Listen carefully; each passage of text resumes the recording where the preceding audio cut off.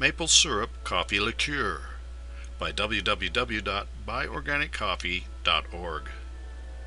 Those who love coffee, rum, and North Woods maple syrup will be pleased to know there is a maple syrup coffee liqueur. Liqueur coffee comes with various sources of alcohol, but Ardilla Negra from the Black Squirrel Distillery is the first use of maple syrup for this purpose. Buffalo Rising reports that a local distillery in Buffalo, New York has a new coffee liqueur product, Ardilla Negra Maple Coffee Liqueur. By the way, ardilla negra is Spanish for black squirrel. The Buffalo distillery that is known for ingeniously using New York State maple trees to create its line of spirits has struck sugary gold again.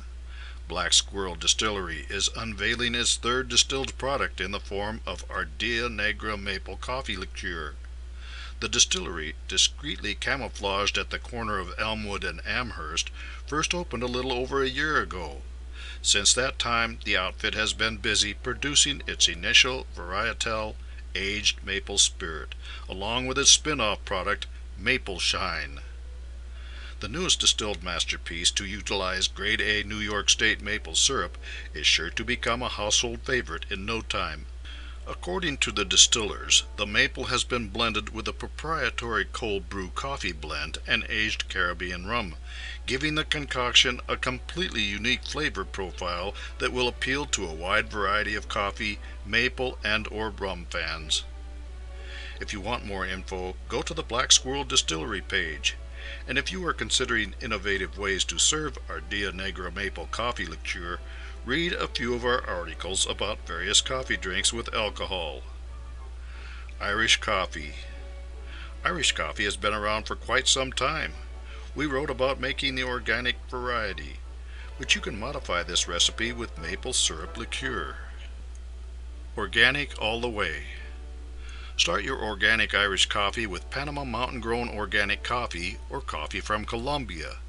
You can order organic whiskey from www.gregfarm.co.uk if they do not have any at your local liquor store. Use organic brown sugar and organic whipping cream. Because of all the cooler ingredients you will be adding, make sure that you start with hot coffee poured into a preheated glass. For each cup of organic Irish coffee, use the following. Coffee mug. A glass mug is traditional. Tablespoon. 4 ounces of hot coffee, freshly ground and brewed organic coffee. 1 ounce of organic, preferably Irish, whiskey. 2 teaspoonful of brown sugar. 1 ounce of organic double cream, whipped just lightly. The steps. Have everything ready. Warm your coffee mug. Put the brown sugar into the glass and then add the hot organic coffee. Stir until the sugar dissolves. Add the whiskey and stir again. Add the cream by pouring gently over the back side of the tablespoon so that the whipped cream sits on top of the coffee. A little cinnamon and or nutmeg sprinkled on top of the whipped cream are an American addition to this treat and are optional.